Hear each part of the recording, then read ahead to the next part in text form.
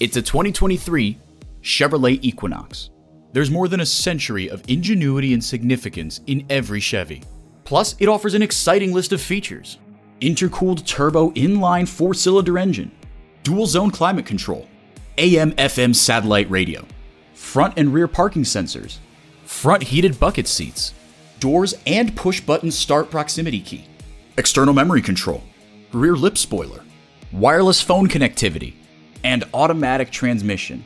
See it for yourself when you take it for a test drive.